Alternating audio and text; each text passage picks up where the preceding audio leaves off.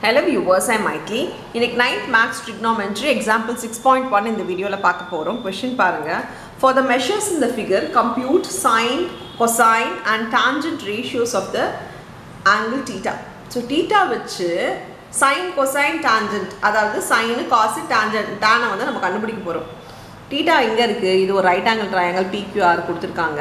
Theta இங்கே இருக்குது so எப்போவுமே டீட்டாக்கு ஆப்போசிட்டில் இருக்கிற சைடு வந்து ஆப்போசிட் சைடு ஸோ அதை முதல்ல எழுதிக்கோங்க.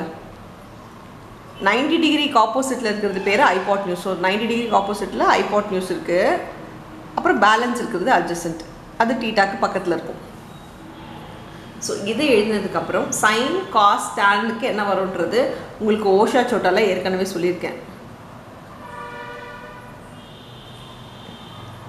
இதில் பாருங்கள் இது வந்து சைனு சி வந்தால் இது காசு டி வந்தால் டேன் ஸோ எஸ்ஸுக்கு முன்னாடி பின்னாடி.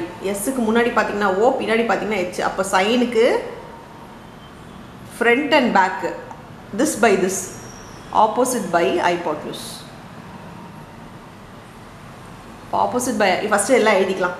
கொசைனுக்கு பாருங்கள் கொசைனுக்கு என்ன இருக்குது சிக்கு முன்னாடி பின்னாடி. சிக்கு முன்னாடி அட்ஜசன்ட் சிக்கு பின்னாடி ஐபாட்னியூஸ் அதே மாதிரி டேனுக்கு பார்த்தீங்கன்னா டேஞ்சன்ட் கேட்டதுனால டேஞ்சன்ட்னு எழுதிக்கிறேன்.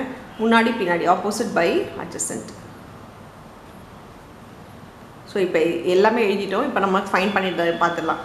இங்கே ஆப்போசிட்டுக்கு என்ன எழுதியிருக்கோம்? Thirty ஃபைவா so thirty five by hypotenuse வந்து தேர்ட்டி செவன் அடுத்தது adjacent twelve by thirty seven டேனுக்கு opposite by thirty five by twelve adjacent so அவங்க கேட்ட மூணு ரேஷியோஸும் மூணு ட்ரிக்னாமெட்ரிக் ரேஷியோஸும் நம்ம ஃபைன் பண்ணிட்டோம். இது உங்களுக்கு ஈஸியாக இருக்கும் கண்டுபிடிக்கிறதுக்கு. அவ்வளோதான் இந்த சம் தேங்க்யூ